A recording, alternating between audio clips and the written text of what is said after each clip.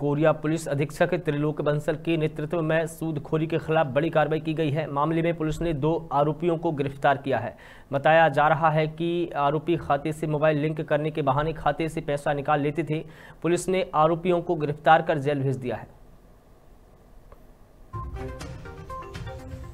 चर्चा थाने में ही अपराध दर्ज किया गया है। इसमें धारा तीन सौ चौरासी, चार सौ बावन, दो सौ चौरानवे, पाँच सौ छः आईपीसी और आईटी एक्ट की धारा 67 सी तथा कर्जा एक्ट की धारा चार पाँच के तहत अपराध पंजीबद्ध किया गया है तथा आरोपी सुदर्शन साहू, जो एस चर्चा में ही कर्मचारी है, इसके खिलाफ कार्रवाई कर, इससे एक नंग मोबाइल जब्त कर, गिरफ़्तार कर इसे न्यायालय में पेश किया जाता है।